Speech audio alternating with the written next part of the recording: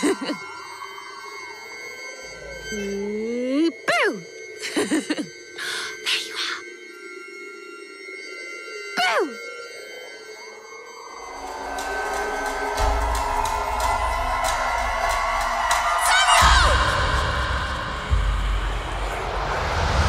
What went we out into this wilderness to find?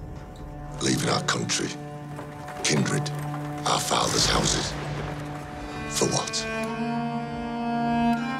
For the kingdom of God. I wanted to create uh, an archetypal New England horror story We must find some light in our darkness. to have something that would be like a nightmare from the past. If you could upload uh, a Puritan's nightmare into the audience's brain, that's what I was hoping people could experience. There really was darkness and danger in what the early modern witch was. There's the evil of the book.